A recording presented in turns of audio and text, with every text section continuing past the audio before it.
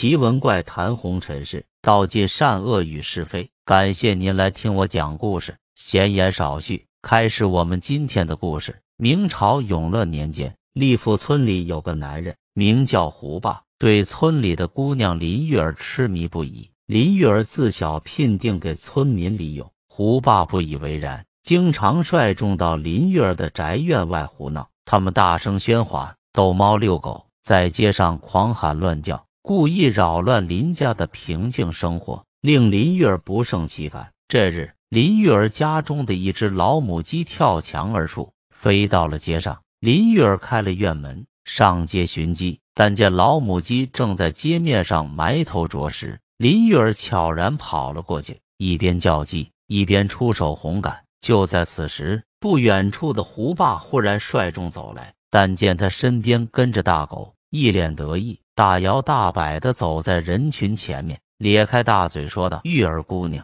你是不是知道我在门外等你，所以才出来相会的？”林玉儿听得一愣，连忙摇头否认，令胡霸感到有失颜面。但见他眼珠一转，忽然从身后拿出一个用野花边的花环来，一下扣在了林玉儿的头上。林玉儿一惊，伸手要摘。胡霸脸色铁青，低声威胁道：“你可以不要这花环，但是你不能摘下来。你若敢摘的话，我就把你送我的花环拿出来给大家看看。”说罢，胡霸狠狠地盯着林月儿的眼睛，目光凶厉阴鸷，吓得他一个哆嗦，两手不由垂落下来。他暗想道：“我何曾送过他花环？看来这家伙被逼急了，做事要血口喷人了。我且忍耐一时。”免得他狗急跳墙。想到这里，林玉儿只得带着花环赶鸡，将母鸡赶回院门后，在一群人的注视下，慌忙将院门紧闭，留下一群人在外面喧闹，其中夹杂着胡霸的狂笑声。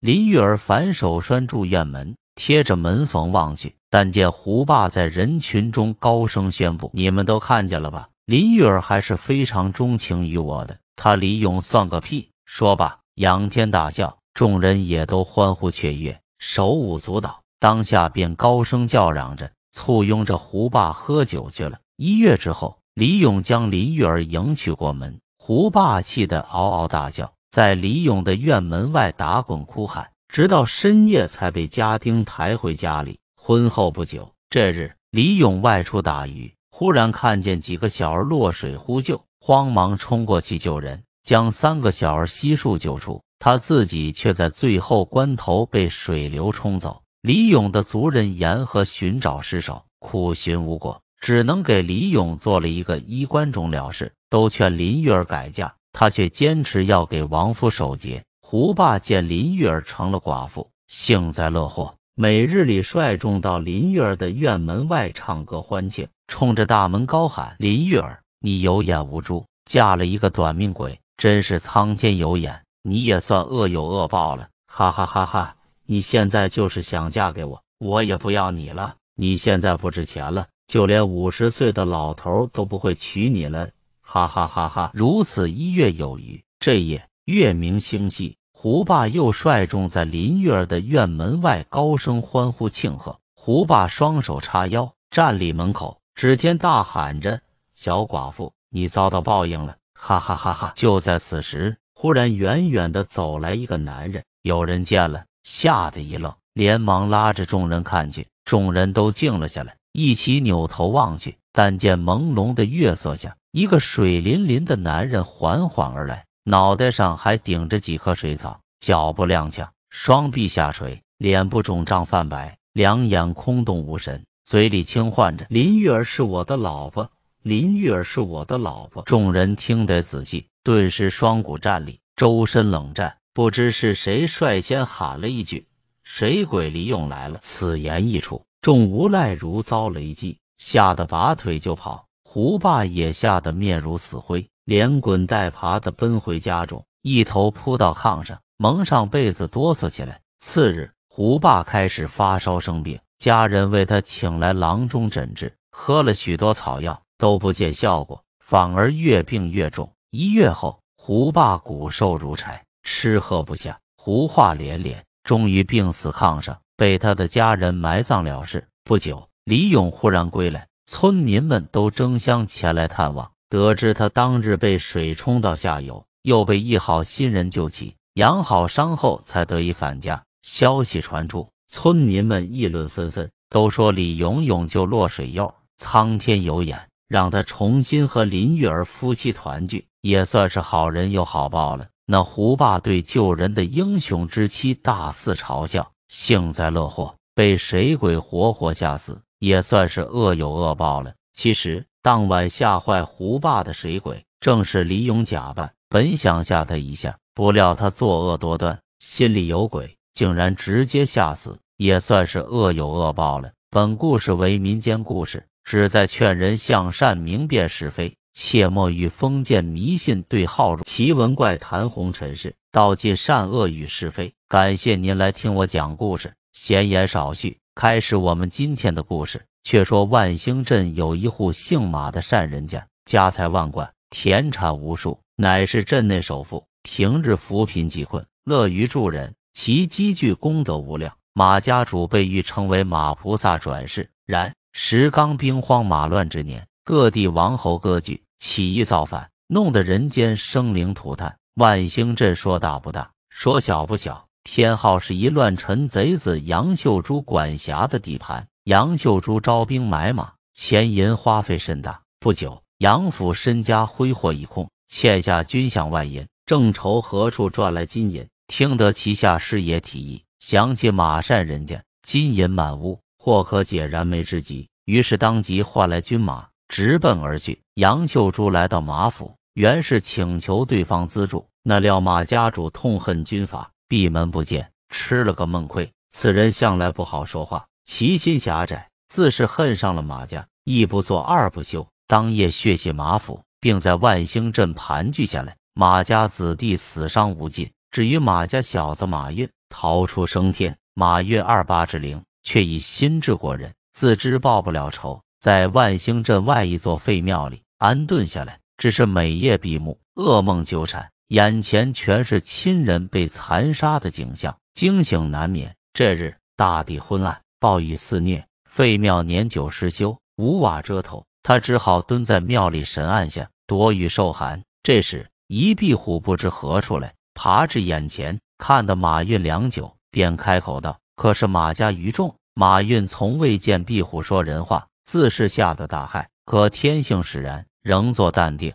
点头道：“是的，不知壁虎大仙找小子何事？”壁虎道：“马家小子误判，这次前来。”是得知马府惨遭灭族，特意来问你，可想为你家三百人命报仇？壁虎告诉马运，自己乃是方圆修炼千年的妖物，因其身所限，虽法力低微，仍可替他复仇，但要求马运报仇后，要把自己的身体送给他。马运笑道：“壁虎大仙，若你真能为我手刃仇人，这副皮囊何足挂齿？但你口说无凭，且让我看看你法术。”壁虎哈哈大笑，说了声“小子看好”。壁虎大吸一口气，见风就长，少请，一身化作巨龙般大小，瓮声瓮气的：“我这就替你复仇，事后原地等我。”说罢，壁虎出了废庙之外，挖土前地，眨眼片刻，留下一地狼藉，不见踪影。且说这壁虎法力低微，与人作战不得，便想了一计，打算挖空这地地基，摔死敌人。这计甚妙，只需花时数日，其目的轻易可成。话说回来，杨秀珠夺了马家财富，见得地窖所藏金银无数，一时半刻全搬不走，便决定就地盘踞，边练军队边守财富。一日，杨秀珠坐于庭前审阅文件，忽听得大地下轰隆作响，心生疑惑，岂料旗下师爷手忙脚乱，奔至前来，喘气道：“将军快跑！”小人刚占一卦，此地有大凶险，不宜久留。杨秀珠久历风霜，不信鬼神，何况这命里卦算。只是这师爷足智多谋，是他左肩右手，不好服了面子，笑道：“师爷莫急，凶险何处来？是我那仇敌，还是马家有孽种尚存人士，找来报仇？”师爷看得杨秀珠不信，当下自身解说不明，只好说：“将军。”昔时我说过，马家功德无量，不可强来。如今你杀尽他族，必遭因果。此劫要来，再不走就迟了。杨秀珠虽重用这人，但见对方说起不是，脸色不爽，扶手掌刮老骨头师爷几下，气道：“滚出去！”师爷挨了打，叹气心嗔道：“是我瞎了狗眼，看错明珠，还害了马善人家，罪孽深重。”于是当下心灰意冷，细软不实，策马离去。待他刚出万兴镇，大地轰隆一震，整个万兴镇跌落万丈深渊，大地吞没，留下一广阔巨洞，再不见昔日风景。师爷吓得一身冷汗，此劫就来，幸他悬崖勒马，才脱逃升天。知道可惜那无辜镇民，全为陪葬，却无能为力。却说壁虎挖空地基，万兴镇不复存在。见大事已成，遁回废庙，大地一动。庙内马运早有所觉，亲眼目睹一阵尽毁，良心难受不安。原没想牵涉无辜，但见不能回头，只好唉声叹气。壁虎回来，便开口说道：“马家小子，仇已报，是我拿报仇的时候了。”马运不言不语，沉浸在伤痛惭愧之中，闭目等候自身的将来。壁虎嘿嘿一笑，虎身内飞出一光团，乃是元神，欲要夺舍。这刻。不远处响起一声怒喝：“妖孽住手！休得害人！”原来是师爷骑马到此，看得壁虎全举，从怀中取出石玉，此乃龙虎山张天师所赠之物，听闻可降魔伏妖，保护人身，当即用力一送，此玉通灵，自感妖气，顿发宝光，咻的一声直击壁虎元神，两相啪的一声相撞一起，竟烟消云散。可怜壁虎没得及说话。魂魄飞散，事后救了人。师爷问计，才知马运是马家唯一血脉，大感天恩。见小子一身慧根，当下收为徒弟，御受纵横道，赎罪己身。五年后，大地出了一位极其盛名的人，叫马运。本故事为民间故事，旨在劝人向善，明辨是非，切莫与封建迷信对号入奇闻怪谈红尘事，道尽善恶与是非。感谢您来听我讲故事，闲言少叙，开始我们今天的故事。三国时期，在吴国有个巨章县，住着一位年轻的妇人，人称刘氏，生得花容月貌，异常美丽。十八岁时嫁给了同县人张三为妻。婚后两年，刘氏和张三也算恩爱，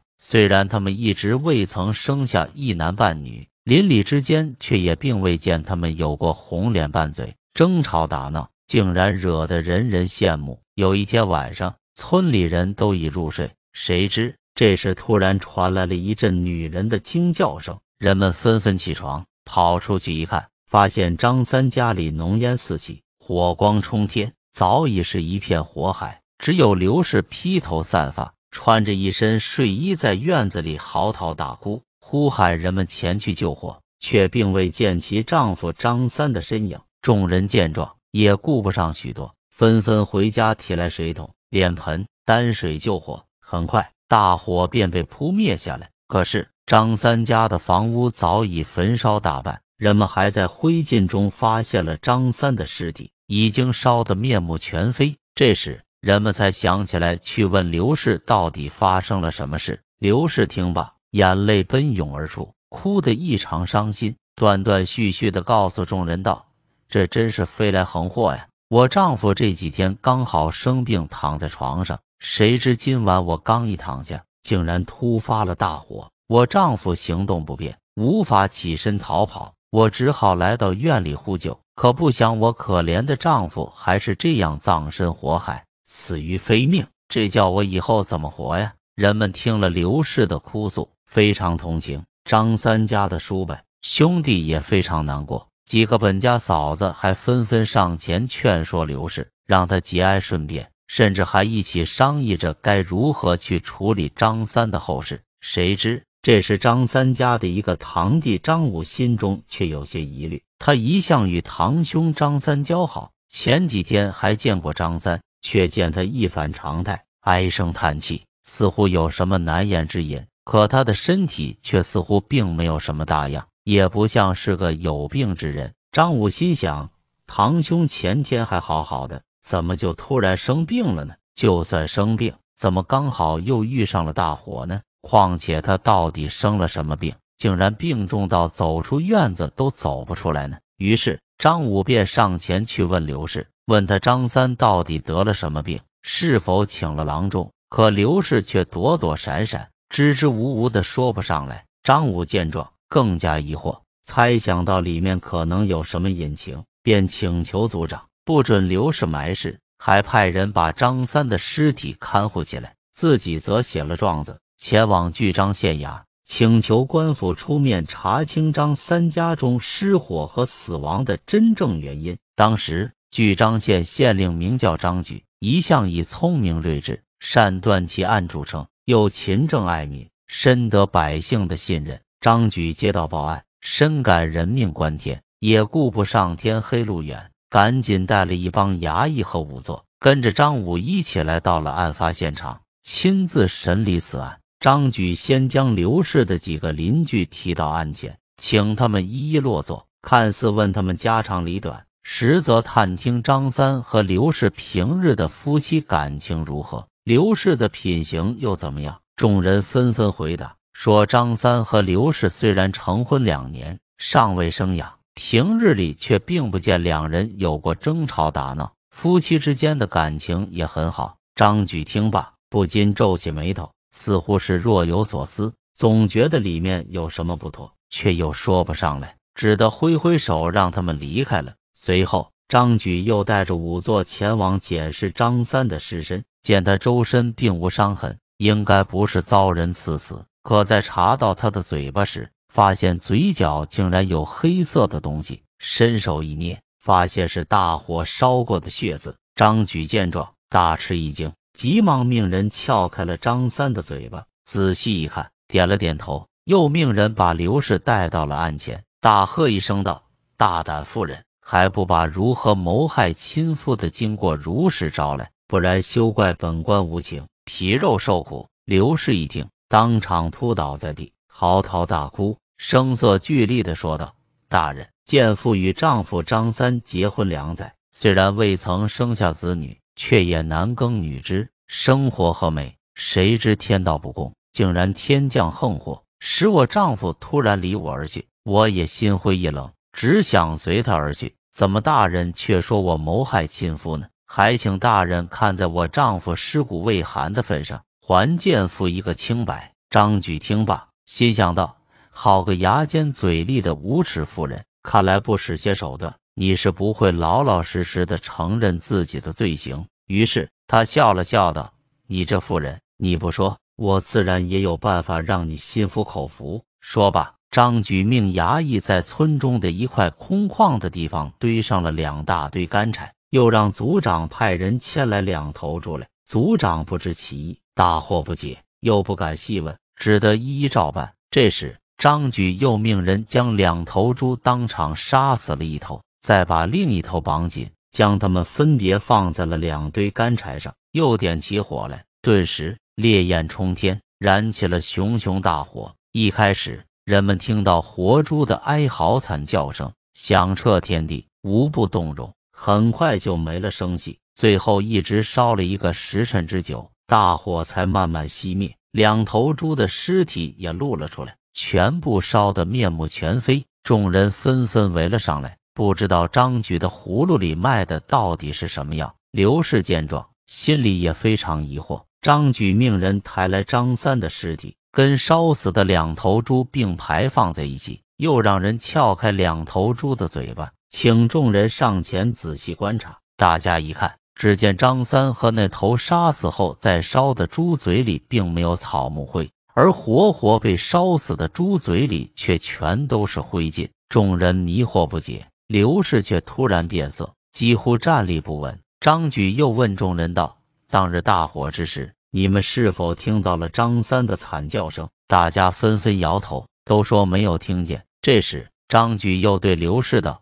你这妇人，你看活着烧死的猪的嘴里全是灰烬，而杀死在烧的猪的嘴里却是干干净净的，并没有灰烬。你丈夫张三嘴里除了血渍，也没有大火灰烬。如此看来，他一定是死后再被人焚尸灭迹。各种原因，你想必心知肚明。还有什么话好说？赶快从实招来！不然本官一定会大刑伺候。刘氏吓得魂飞魄散，娇喘一声，一下子瘫倒在地上，再也不敢隐瞒，便把事情的经过一五一十的说了出来。原来刘氏过门后，张三见取得了如此娇妻，不由得心花怒放，对他事事顺从。刘氏也非常开心，两人夫唱妇随，日子过得十分美满。然而时间一长，刘氏便开始嫌弃起了丈夫来，觉得他为人太过老实。又没有什么赚钱的营生，只知道靠卖些力气来补贴家用，而且两年来两人也没有生下个一男半女，不禁对张三的感情越来越淡。有一天，刘氏一个人去集市上准备买些胭脂水粉，刚好遇到了邻村的一位刚死了妻子的李员外。李员外一见刘氏，就被她的天生美貌所打动，便上前去勾搭。刘氏见李员外富有多金。风度翩翩，也不禁心动，两人一来二往，就勾搭到了一起。从此，每逢张三不在家，李员外便晚上来，早上走，时常在一起鬼混，也瞒过了左邻右舍。可是这件事却无意中还是被张三给知道了。他见妻子与外人私通，非常生气，却又不敢出言去斥责他，只敢日夜守在家里。不让李员外和刘氏有机会私会。刘氏见状非常气愤，一直想找个机会将丈夫害死，再名正言顺的嫁给李员外，跟他一起享受着荣华富贵。于是，在这天吃晚饭的时候，刘氏一反常态，给张三准备了一桌上好的酒菜，又软声细语向他赔罪，殷勤的劝他喝酒。张三见妻子这样低声下气，以为他已经回心转意。不禁心花怒放，便端起酒杯来一饮而尽。谁知不一会儿，张三便倒在地上，口鼻流血而死。张三死后，刘氏悄悄地把他的尸体拖到了床上，又盖上被子。等到夜深人静，人们都已睡下的时候，故意纵火烧掉房子，制造出意外失火的假象。刘氏招供完实情后，双眼盯着张举，感叹的对他说道：“大人。”小妇人自以为这件事做得天衣无缝，不想大人聪明睿智，一下子便识破了我的诡计。我也无话可说，愿意听从大人发落。张举听罢，一律将刘氏判了斩立决。第二天便将他押赴闹市口斩首示众。人们知道了张举断案的经过，对他的聪明睿智无不赞叹。张举烧猪的故事也流传了下来。成了古代司法上的一个经典案例。本故事为民间故事，旨在劝人向善、明辨是非，切莫与封建迷信对号入座。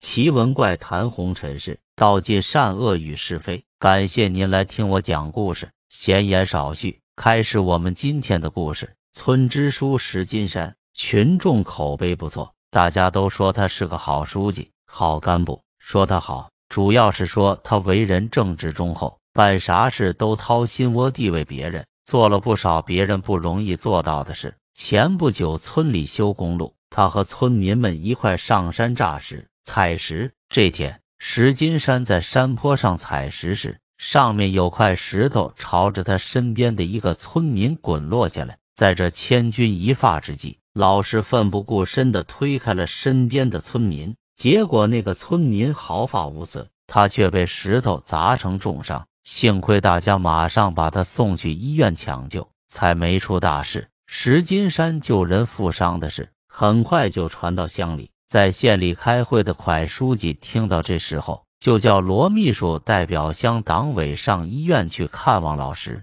并叫他整理一份老师的先进事迹材料，因为省委要表彰一批优秀共产党员。县委给了他们乡一个名额。这个时候出现了老实救人的典型，这不是打着灯笼也难找的好事。不料就在罗秘书准备去整理石金山的先进材料时，有人寄来了一封举报信，反映石金山有生活作风问题。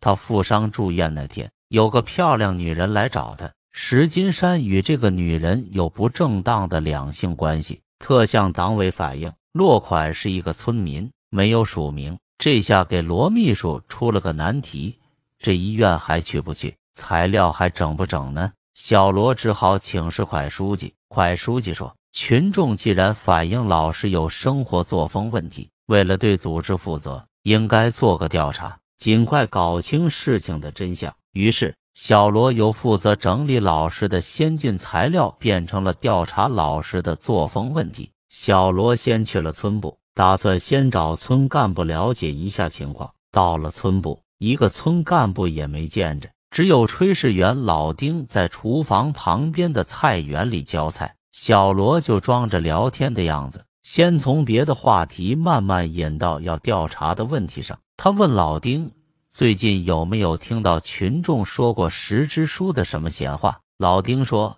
听说过呀，有人说石支书受伤住院那天，有个长得很漂亮的外地女人带着个孩子来找他。”说这个女人跟石支书有那么一腿，真有那事？小罗追问了一句：“不可能的吗？”老丁说：“石支书是什么样的人，我还不清楚。有些人就是喜欢嚼舌头，无中生有的事能说的天花乱坠。去年底，吴保护二秃子就造过石支书的谣，还被我国了他一耳光呢。”小罗就问是咋回事，老丁哗啦啦竹筒倒豆子，说了事情的经过。去年底。县民政局王局长亲自下来慰问走访困难户，石支书想求王局长拨点款，把二秃子的破房子修一修。那天就特地叫老丁买酒买菜，准备好好招待一下局长。老实知道王局长爱喝酒，当天就特地买了一瓶好酒。开饭时，桌上摆上了两瓶白酒，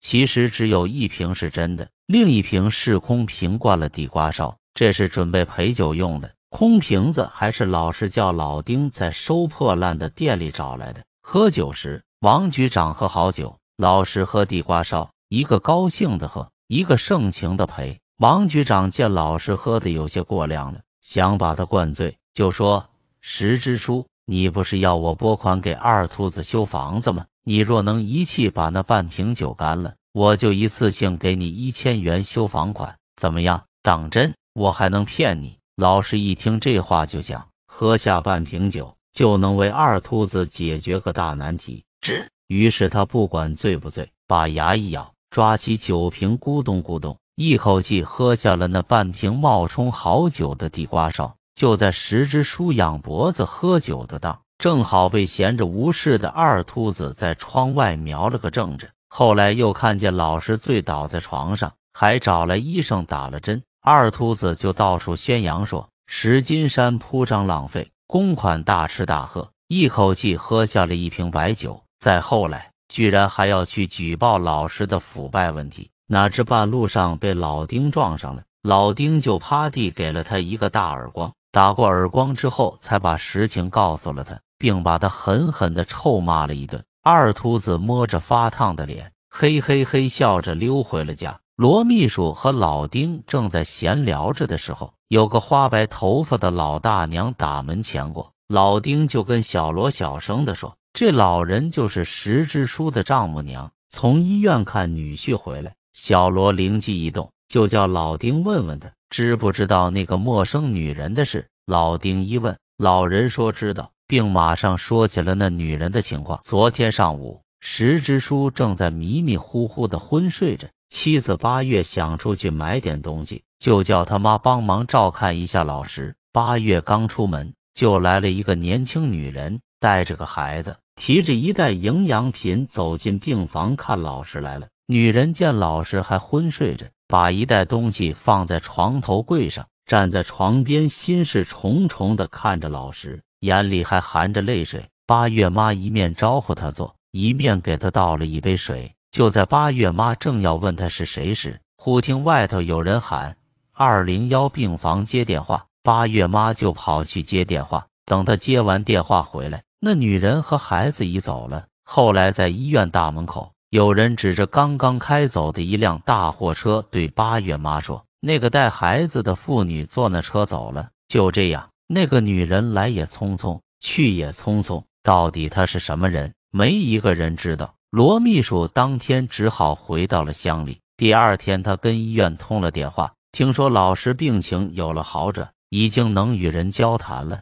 小罗马上带了些营养品赶了过去。不料问起那个陌生女人的事，老师也说他搞不清楚。当小罗还想再往下问的时候，八月小声的把他叫出了病房。两人来到了大院的树下。小罗见八月眼睛红红的，似有泪水在滚动，就奇怪的问他：“婶子，石支书的伤病好的这么快，你为啥还伤心？”八月叹着气说：“关于那女人的事，你就不要再为难老石了。他要说的清楚，早就说了，你还不知道吧？因为那个女人。”昨天我差点跟别人打架了啊！还有这事，小罗惊讶的睁大了眼睛。原来有个邻居过去因找老师开证明上报批无忌，因为不符合政策规定，老师拒绝不开。此后该邻居一直怀恨在心，他老婆就借这次陌生女人来访的事造谣惑众，背后辱骂老师下流无耻，跟个寡妇搞名堂，还说不开证明批无忌给的。是想留块地皮给那个小寡妇，骂的难听死了。八月气得追上门，真想跟他干一架，可一见了面，那泼妇又拍手又跳脚，故意站在门前，大声的反问他：“你说你家老实与那个女人没关系，那你就跟大伙说一说，那个女人到底是谁？家住哪里？从什么地方来的？为什么要带着孩子来找你家老实？”这一问。把个老实善良的八月问住了。那泼妇见八月哑口无言，越发放肆。你说呀，为什么不说？分明是心里有鬼。又气又恼的八月只得忍气吞声的跑回家。不过她始终相信自己丈夫是清白的，不会做出对不起自己的事。她怕丈夫受到刺激，回到医院后也没把这事告诉老石。小罗从医院回来。就把了解到的情况跟蒯书记做了汇报。蒯书记听说老石也说不清这事，也感到有点奇怪了。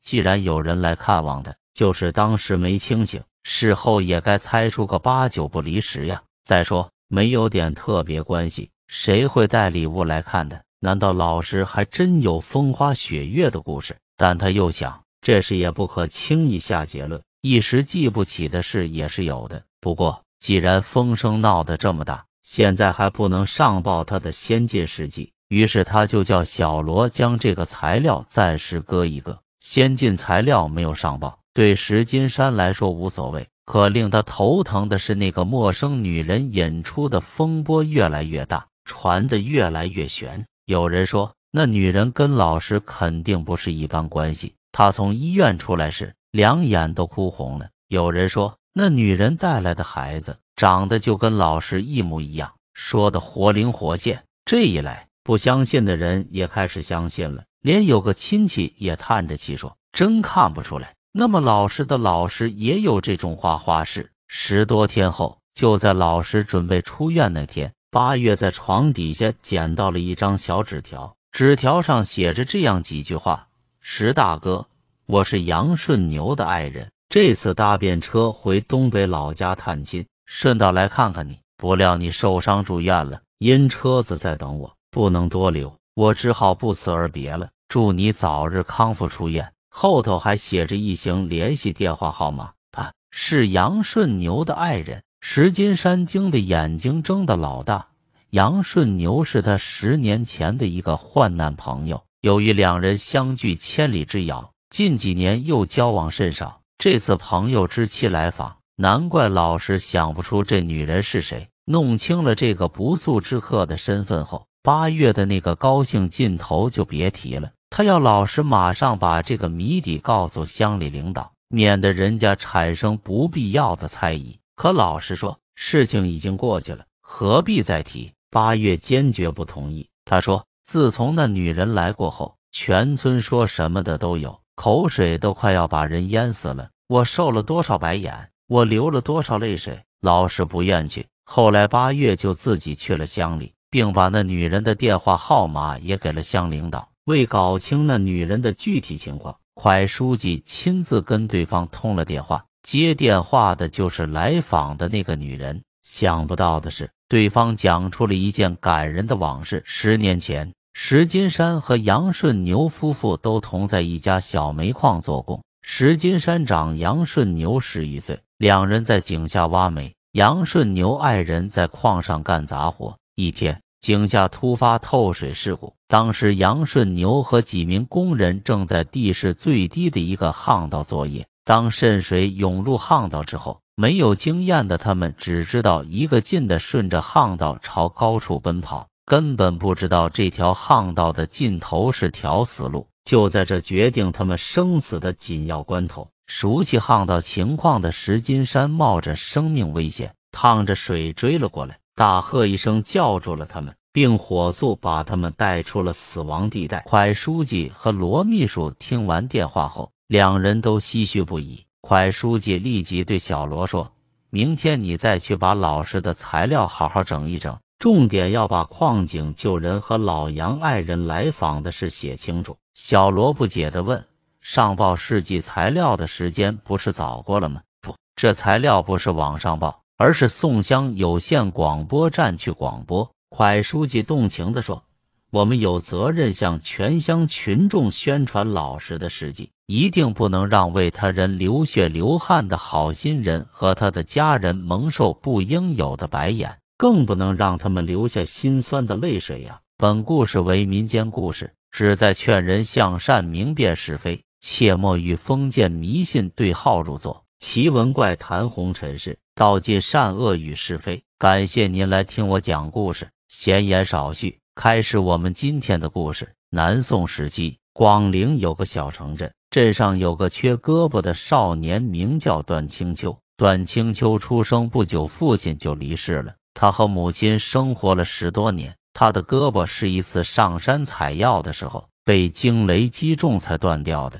由于胳膊不方便，不能再上山采药，段清秋就拿出自己多年的积蓄开了家茶馆，生意尚可，能够维持家里的日常开销。由于身体残疾，段清秋到了二十五岁，仍旧没有女子愿意嫁给他，且村里的几个无赖常戏弄嘲笑他，来喝茶从不掏钱。段清秋没有胳膊，跟他们争论，无非是被摁在地上打一顿。只好不吭不响的吃了哑巴亏，这让几个无赖行事更加过分。这天，几个无赖又来到茶馆，见段清秋不肯给他们泡茶，就拿起厨房的茶杯，还有一些桌椅，就准备离开。旁边的段清秋也不敢出手阻挠，只能任凭他们拿走茶馆里的东西。就在这时，一道亮丽的身影却拦住了几个无赖：“你们怎么能乱拿人东西呢？”信不信我让官府的人来抓你们？只见一个身材高挑、眉目清秀的女子挡在几个无赖面前，看着他们手里的东西，让他们放下。几个无赖显然没放在眼里，伸手就要把女子推到一边。然而那女子却抓住了一个无赖的胳膊，向后一拧，迫使无赖跪倒在地。剩下三个人互相望望对方，立刻扑向女子。然而女子力气很大。不是他们几个能比的，于是就被甩了出去。无赖们见自己打不过，就溜走了。段清秋待在当场，他第一次见这么强悍的女子，甚至比他高出一头。他连忙上前弯腰表示感谢。一番交谈后，得知女子名叫风秀，是一个纤夫的女儿。她从小就比旁人力气大，所以才能打败几个无赖。从此以后。风秀经常来茶馆找段清秋，帮他看着茶馆，以免几个无赖再回来。他和老实巴交的段清秋不同，为人豪爽泼辣。然而在段清秋身边时，他总是一副小鸟依人、弱不禁风的样子，什么都要靠着段清秋。段清秋能够理解风秀的意思，在朝夕相处之中，他也对风秀产生了一些好感。然而他性子懦弱。怯于表明自己的心意，直到几个月后的一天，风秀提出要搬过来和段清秋一起住，因为自己跑来跑去太麻烦。段清秋当然求之不得，直接就答应下来。他们的这些行为落在街坊邻居眼里，街坊邻居自然也就明白他们的关系，他们也就帮着忙撮合。然而没过多长时间，段清秋就发现了一件奇怪的事。风秀在每月十四都会在半夜溜出家门，天亮才回来。事后他问风秀到了哪里去，他总会找各种各样的理由搪塞。段清秋见状，也不再做过多的追问。这天，段清秋去给村民帮忙收麦，之后二人一起吃了顿饭。村民忽然开口道：“青秋啊，你们家什么时候养了蛇？”段清秋不明白，他当然没有养蛇。邻居告诉他，有次外出路过他家门口。看见他家门口有一条手腕一般粗细的白蛇在门口打转，还顺着门缝钻到了家里。村民以为是他家里最近养的，就想要进去找到段清秋，告诉他蛇不能乱养，尤其是这么大的蛇，容易伤人。结果给他开门的却是风秀，他进去找找也没瞧见蛇的影子。然而他坚定地认为自己没看错，所以才来问问段清秋。段清秋听后很是诧异，邻居没必要说谎。那么白蛇是从哪儿来的？又是到哪里去了？还那天是正月十五，风秀应该是清早刚回到家，怎么说自己才睡醒？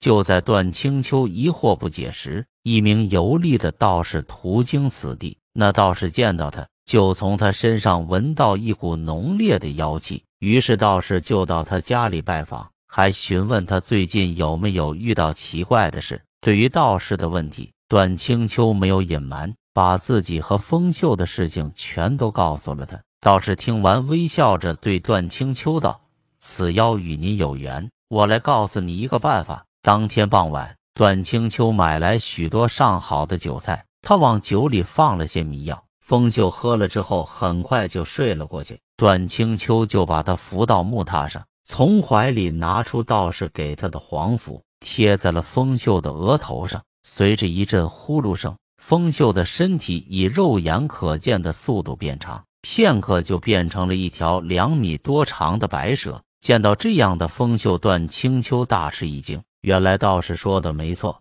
风秀就是邻居见过的那条白蛇。段清秋站在那里平复了会儿情绪。就拿出绳子将风秀绑在了床上。不一会儿，风秀清醒过来，发现自己变成了蛇的样子，还被抓起来后，他大吃一惊，连忙摆动着身体想要挣脱束缚。然而他额头上的黄符却吸走了他全部的灵力，无论如何也挣脱不了绳索。就在这时，段清秋拿出一把匕首，按照道士的说法。在白蛇的七寸处割开一条口子，伤口没有流血，却冒出了许多黑烟。风秀吃痛，立马向段清秋解释自己从来没有害过人，他来找段清秋只是为了报恩。原来早在十几年前，段清秋被雷劈断胳膊不是意外，他在采药的时候发现了一只正在渡劫的白蛇，那白蛇一共需要承受两道雷击。就在他刚接住第一道雷击之后，就遇到了段清秋。段青秋见他浑身是伤，就用采到的草药帮他包扎了伤口。在这时，第二道惊雷落下，刚好砸在段青秋身上。那只白蛇正是风秀。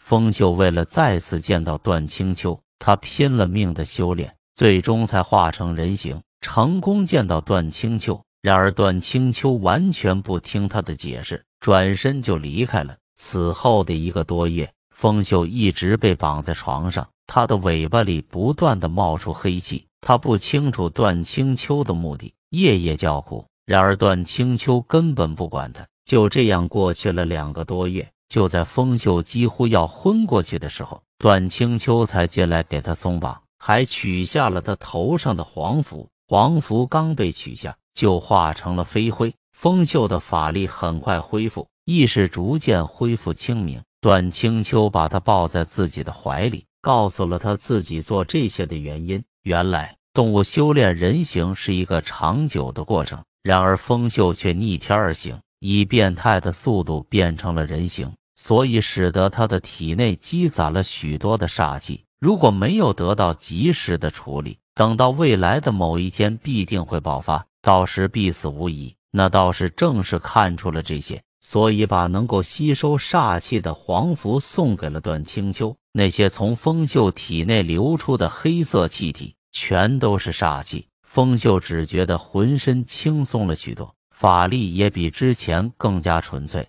而段清秋也鼓起勇气向风秀表明了自己的心意。封秀十分感动，他扑到了段清秋怀里，二人在两个月后结为夫妻，过上了安稳的生活。本故事为民间故事，旨在劝人向善，明辨是非，切莫与封建迷信对号。奇闻怪谈红尘事，道尽善恶与是非。感谢您来听我讲故事，闲言少叙，开始我们今天的故事。清朝乾隆年间，顺天府有个富豪名叫江河山，祖上三代皆是商人，而江富豪则青出于蓝，家族生意在他经营下蒸蒸日上。几十年来，早已积累巨额财富。别看江富豪名震顺天府，也有烦心事。眼看自己一天天变老，想趁早找个接班人。偏偏他有两个儿子，大儿子叫江峰，二儿子叫江松，两子皆十分优秀，可继承人只有一个。为此，他没少发愁。一日，管家见商富豪皱着眉头，想必又在为继承人的事烦恼，建议道。老爷，不如您出个选题，考考两位公子呗。商富豪听完一拍大腿，寻思早咋没想到，于是让管家传话，告诉两个儿子分别经营一家铺子。一个月后是结果，选择接班人。兄弟俩接受选题，即刻出发赶往铺子。转眼一个月已过，江峰的铺子赔得血本无归，而江松的铺子赚得盆满钵满。江富豪看完结果，叫来两兄弟，当众宣布道：“我宣布由江峰做我的继承人。”此言一出，兄弟俩皆惊讶不已。江松怒问道：“爹，您这是何意？我赢了，为何您还要传位给大哥？”江富豪冷冷道：“哼，两个铺子本就一分钱也赚不到，我用来测试你们是否有诚信。作为一个商人，你连最起码的诚信都做不到。”谈何继承家业？江松攥紧拳头，随即又松开，冲江峰抱拳道：“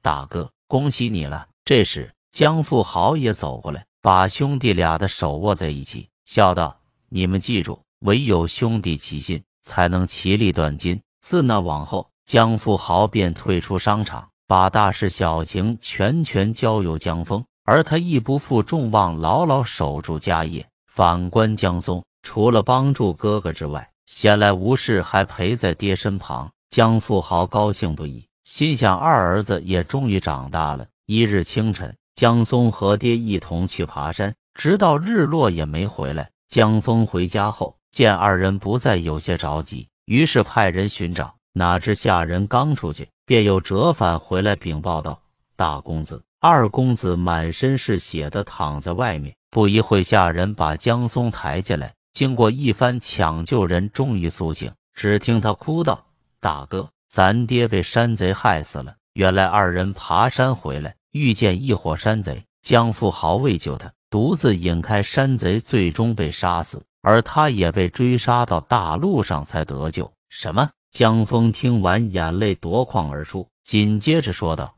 来人，快去衙门报官。”随后，兄弟俩去衙门认领尸体。经过仵作辨认，确定是江富豪后，二人皆哭得昏天黑地。把尸体领回家后，兄弟俩为老父亲举办葬礼，还在寺庙中为他立块牌位。每逢忌日都会一同祭拜。转眼间一年过去，兄弟俩生活也步入正轨。一日，江峰找到弟弟，说自己要成亲。江松惊喜道：“大哥，这你就不够意思了，快把大嫂领来看看。”几天后。只见一个容貌堪比天仙的女子被江峰领回家，他拉过女子，冲江松道：“这是你嫂子吴初蕊。”见嫂子貌美如花，身材曼妙，江松不禁失了神，好一会才尴尬道：“嫂子好。”吴初蕊微微一笑，露出洁白皓齿，给小叔子躬身施礼。随后，江峰表示二人将在三日后成亲。江松抱拳道：“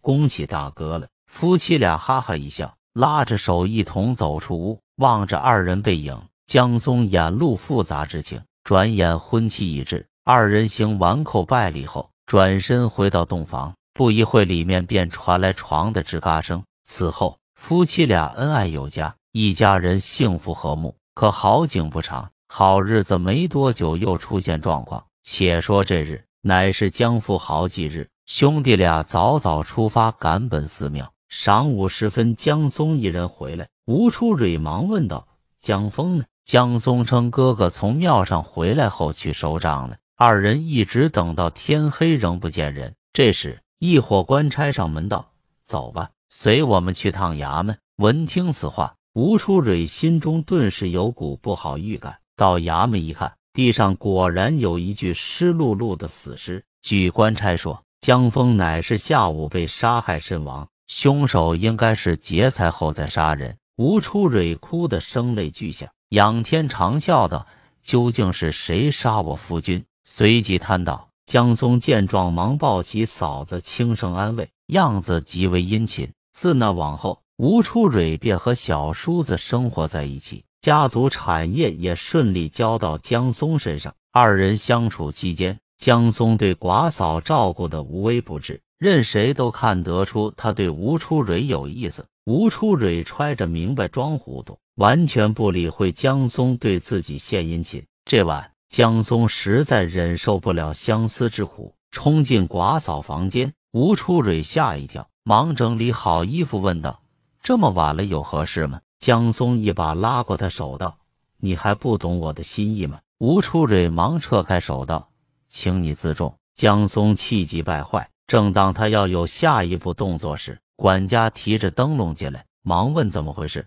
江松见状，只得悻悻回屋。回屋后，江松暗骂管家坏事，心想只要他在，自己就无法得逞，便开始思考对策。不多时，他忽然想到，嫂子近日经常去庙上替哥哥烧香，于是眼珠一转，计上心头。三日后清晨，吴初蕊果然赶奔庙上。江松见机会来了，立马尾随其后。途径一片小树林时，江松突然加快脚步，几步追上吴初蕊，将他强行拖入树林。江松把他压在身下，笑道：“嫂嫂，我看这回谁能救你？”吴初蕊非但不惊讶，反而也笑道：“哈哈，你逃了两次，这回跑不掉了吧？”话音刚落，他吹响口哨，林中突然冲出十几个官差，将江松团团围住。吴初蕊从怀里掏出块牌子道。我是顺天府新上任女捕头江松，挣扎几下，怒道：“凭什么抓我？”吴初蕊冷冷道：“我就给你解释一下。原来当年江富豪的死，江峰一直耿耿于怀，于是请求县令秘密调查。碰巧从京城调来个女捕快，于是二人决定扮作夫妻，明察暗访。期间，二人竟真的产生感情，顺势做了真夫妻。”哪知江松嫉妒心重，又把哥哥杀了。吴初蕊伤心不已，心想江富豪案子还没有眉目，夫君又死了，而且他死时小叔子又不在场证明，这该如何是好？正在一筹莫展时，仵作找到吴初蕊，说此人泡水降温，能推迟死亡时间。若能找到目击证人，证明晌午时分江松去过河边，就能定罪。吴初蕊闻言。便整天徘徊于寺庙和家之间，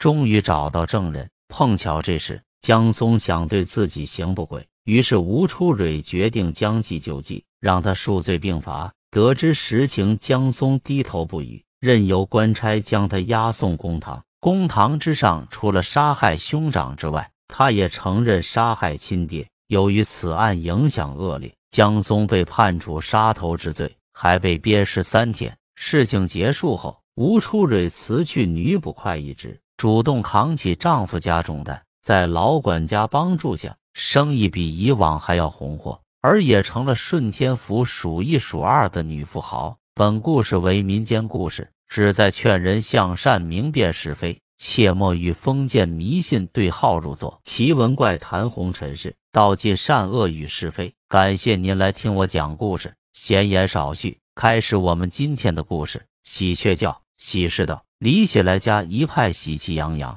今天中秋节要给儿子李茂福接媳妇了，讨媳妇的欢欢喜喜，看媳妇的喜喜欢欢，七邻八舍的亲友挤满一堂，交口赞美即将娶来的新娘。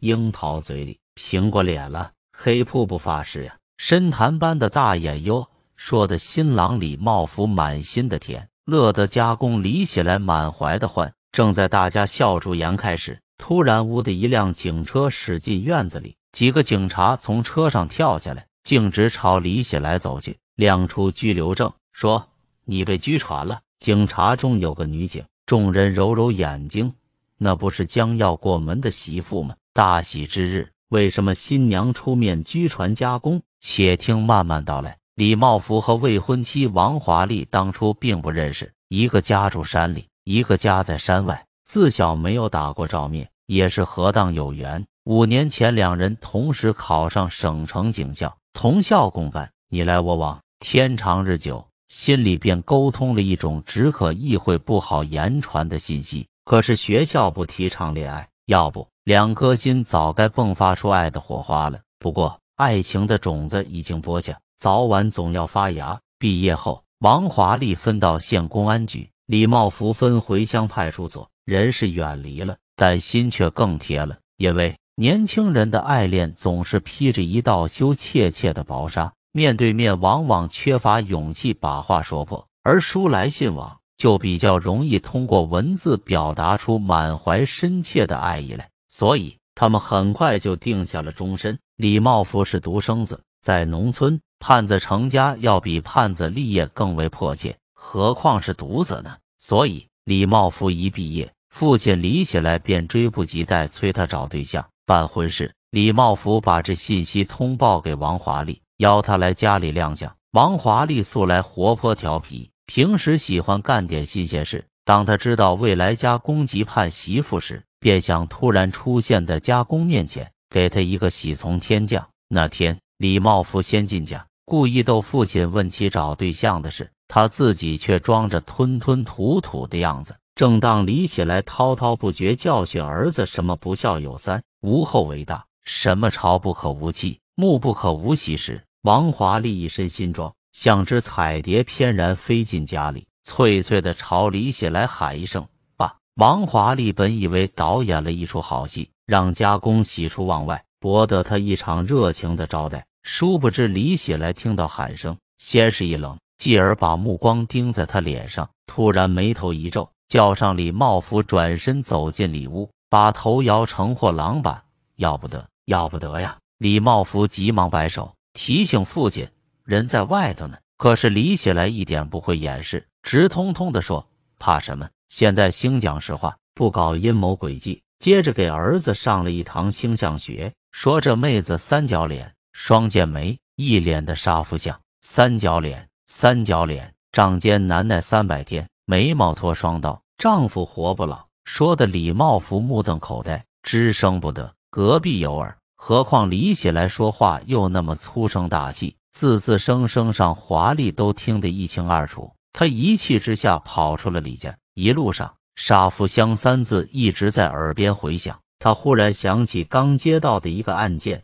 有位叫桂秀莲的妇女投诉丈夫被人杀害，带下去了解案情的同志回来说，群众反映黄秀莲是杀夫相，已杀了一个文妇，而这个所谓被杀害的丈夫是自己爹眼死亡的。王华丽不禁自问：这难道是巧合吗？因此，她顾不了自己心中的不快，丢开重重心事，匆匆赴去找那个杀夫的女人。在一个偏僻的山村里。他找到了那个女人，一见面，王华丽不禁暗暗吃惊。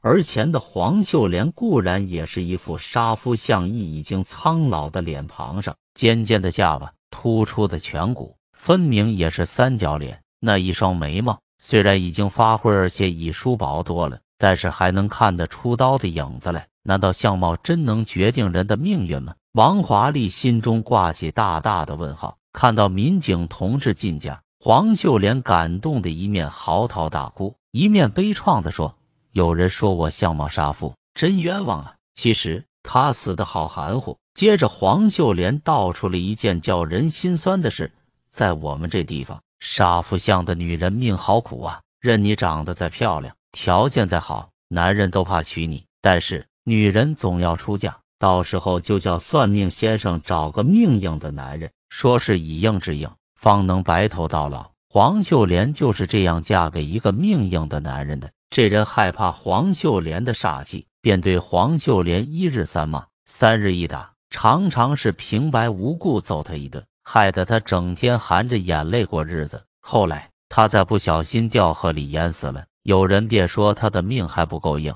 一时议论纷纷，说杀夫相的女人害了他，好冤枉啊！明明是他喝醉酒失足造成的，自己害自己，反把罪名挂到一个受绿带的女人身上。过后，黄秀莲想，以后再没有人敢娶我了，我也不再嫁人了。没想到有个男人很同情她，处处关心，事事帮助，并一定要娶到她。他为人诚实善良，从不骂人，更不用说打人了。他俩结婚后过得和和美美，温爱幸福。不料好景不长，他又在上山砍柴时跌下山岩死了，同头次一样。失去丈夫的黄秀莲非但得不到同情，反而受一些人在背后指指点点，说什么杀富婆。谁讨谁别活，说什么娶了杀夫相不挨刀就挨枪。同志一黄秀莲紧紧握住王华丽的手，激愤道：“那山岩才有个把人高，哪会跌死人呢？金大把你盼来了，你可给我做主啊！”黄秀莲提供的情况引起了王华丽的重视，于是，在黄秀莲引导下，王华丽亲自到现场去勘察。山岩确实不高，大约一米六上下。眼底是泥地乱草，纵使跌了人也不会致死。王华丽又爬上岩顶查看，不禁大吃一惊，那里血迹斑斑，而且有多人践踏过的痕迹，这无疑是一件他杀案。王华丽万万没想到，农村迷信大于法，杀人凶手逍遥法外，而罪名却加在一个无辜的女人身上，应该尽快解脱黄秀莲。可是，在这荒山野岭。图财害命似乎不可能，死者是个老实善良的人，仇杀好像也找不到依据。王华丽决定请求局里把案情通报乡派出所，发动群众提供案情第一手材料。再说，王华丽在李家不辞而别，李茂福受到很大刺激，他痴呆呆的不言不语，不吃不喝。李喜来看在眼里，疼在心上，急得像热锅上的蚂蚁。一个独生子，要是呆了疯了，那不是叫人绝后。他给儿子说软的，倒硬的，儿子还是浑浑噩僵，不声不响。次日得到局里同意，王华丽便到乡派出所去。路过派出所宿舍，王华丽惦念李茂福，便先要去看他，顺便叫他协助了解情况。他一进门，便发现李茂福瘦去了一圈，蔫头蔫脑的呆坐，一动不动，心想。他大概听见了他父亲的话，干脆把两人的事论个清楚吧。可是李茂福却支支吾吾，不敢表态。王华丽很生气，脱口说道：“你走你的阳关道，我走我的独木桥，怎样？”不料李茂福却问：“你真会杀人吗？”王华丽脑袋嗡的一响，几乎气倒在地。他万万想不到，受过多年教育又热恋了多年的心上人，竟然这样无知，这样不理解自己。王华丽一气之下，怒冲冲就走，不想走得太急，撞着墙边的立柜，叭了一声，一把水果刀从柜顶上滑落下来，不偏不离划过他的眉座，当即呀的一声倒地。说时迟，那时快，李茂福一个箭步，本想上去扶住王华丽，不曾想他身子倒下时撞了立柜，柜上一只玻璃糖罐意外，不前不后正掉在李茂福的头壳上，于是。两人双双倒下，他俩住进了医院。李茂福划伤了头皮，轻度脑震荡；王华丽伤势重些，因他倒下时水果刀的刀尖又插在他的脖子上，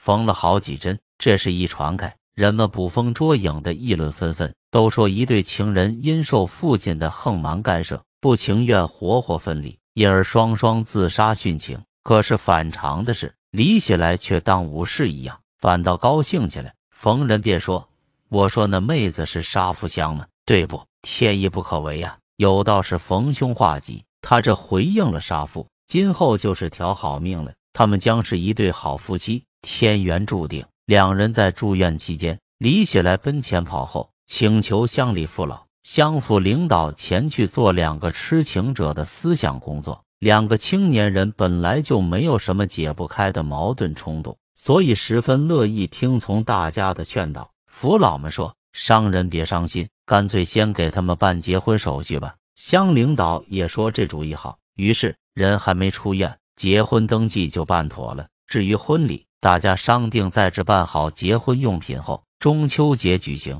依乡里习俗，领结婚证仅仅当是订婚。王华丽也只算是未过门的媳妇，但是因为王华丽远离亲人，无人照顾，所以家婆特别疼她。因此，家婆请求医院同意，在王华丽住院期间，亲自来给她陪住。家婆陪儿媳，甜的没法说。李母自然满心的高兴。不几天，两人就合得很熟，什么话题都聊得起来了。一天晚上。婆媳俩同睡一铺床，兴趣极浓的谈到夜深人静。说着说着，王华丽把头枕在李母的耳旁，试探的问：“有人说我是杀父相，你说呢？”李母说：“没有的事，别信这些。”王华丽又说：“听说山南有个黄秀莲就灵验了呢。”嗨，信则灵，不信则不灵。李母忽闭上双眼，好像不想说话了。哎，王华丽心里一顿。这话倒像是话中有话里，他伸开双臂抱住李母，说：“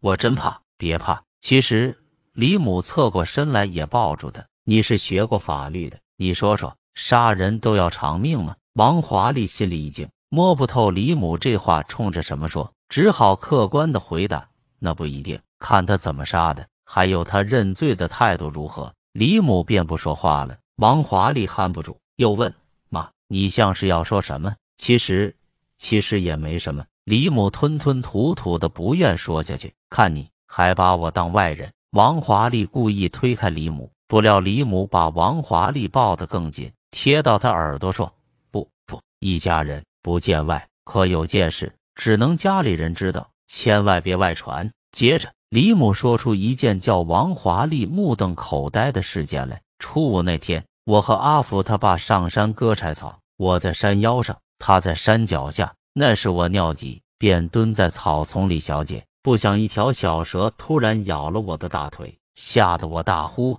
救命啊！这时，一个男人从山顶上冲下来，一把捏了小蛇的脖梗，往岩石上一灌，那蛇便直挺挺死了。他见到我大腿上正在流血，很快解下自己的布裤带，把我腿根紧紧地绑住。那时我被吓懵了，裤子也顾不得扎起。呆呆的由他包扎伤口，他正跪在我腿边打绳结，突然惨叫一声，扑地倒下，我吓得魂飞魄散。光天化日之下干坏事，我叫你借阎王去！这声音好熟啊！我定眼一看，是阿福他爸。原来他听到我呼救也赶来了。只见他愤怒地挥起扁担，咚，又是狼狠的一棒。别打了！我扑过去抱住他的脚，告诉他刚才发生的事。他听了才松手。看看那死蛇，又看看我大腿，问：“你怎么不早说呢？”天哪，他来势那么快，那妖兄，我怎么知道他要打人呢？他走到那人身边，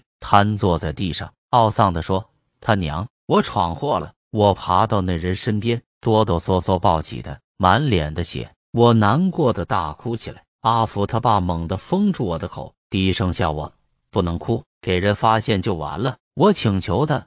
我们去报公安局吧！杀人偿命，你愿守寡吗？他突然推开我，抱起那人，只听见那人微弱的哼了一声，咕噜噜翻下山岩去了。这时我被吓得昏了过去。待我醒来，我已被送回家了。阿福他爸坐我床边，见我清醒后，便威吓说：“这事只有你知我知，要是你漏了出去，我先杀了你，再去公安局。那是我真恨那条蛇，为什么不一口把我咬死？”为啥让我活受罪呀？李母说到这里，再也说不下去。王华丽什么都明白了，杀父案的凶手就是自己的家公。那天晚上，婆媳俩整夜没有合眼，为这案件进行艰苦的辩论。王华丽讲解了有关法治知识，提到了可怜的黄秀莲如何吞泪含冤，如何忍辱偷生。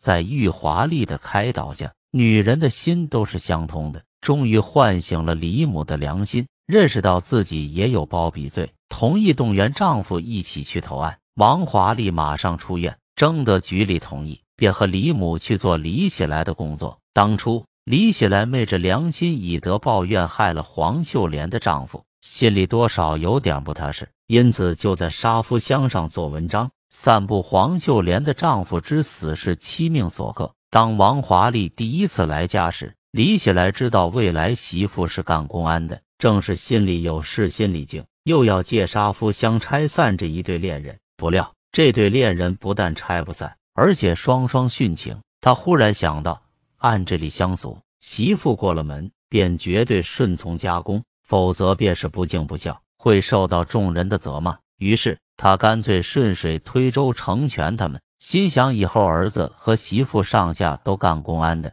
何愁那是瞒不住呢？哪里想到王华丽非但不包庇他，反而引狼入室，和妻子合伙来揭露他。所以李起来不但不听从妻子和媳妇的劝导，反而恼羞成怒，反咬一口，大骂王华丽六亲不认，并扬言有黄秀莲丈夫的裤带为证，控告死者犯强奸罪。为慎重起见。领导上指示王华丽做多方面细致的查证工作。转眼就到了中秋节，李喜来没见王华丽再来找他的麻烦，以为媳妇听话了，便抓紧时间把喜事操办起来，以便把生米做成熟饭，借就礼教当紧箍咒，让王华丽始终包庇他。然而李喜来打错了算盘，聪明反被聪明误。王华丽为了主持正义，维护法律尊严。毅然采取法律程序立案侦查，并向人民检察院递送起诉。于是出现了故事的开头。本故事为民间故事，旨在劝人向善，明辨是非，切莫与封建迷信对号入座。